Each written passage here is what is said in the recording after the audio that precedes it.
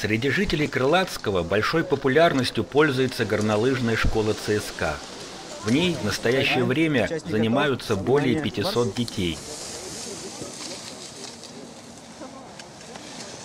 Стартовал участников под номером 81. Участник готов? Сначала дети занимаются по системе спортивно-оздоровительных групп. Потом, после успешных выступлений и сдачи контрольных нормативов, они переводятся в учебно-тренировочные группы. Сегодня у нас а, радостное событие. А, мы проводим наши традиционные соревнования уже в 11 раз. Открытие зимнего сезона.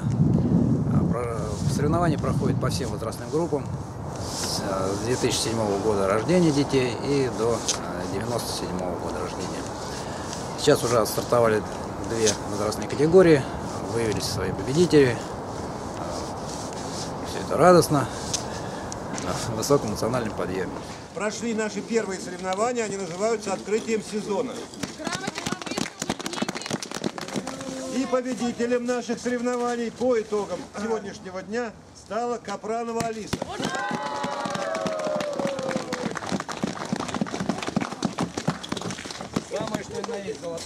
Появилось новое слово, сочетание скорее а, экстремальные виды спорта. Вот почему-то горные лыжи оказались э, в их числе. Ну и молодежь охотно тянется.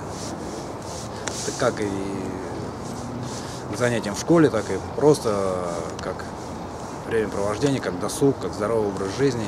И в этом плане я считаю, что горные лыжи серьезное подспорье и программа оздоровления как детей, так и нации в целом свою лепту вносит.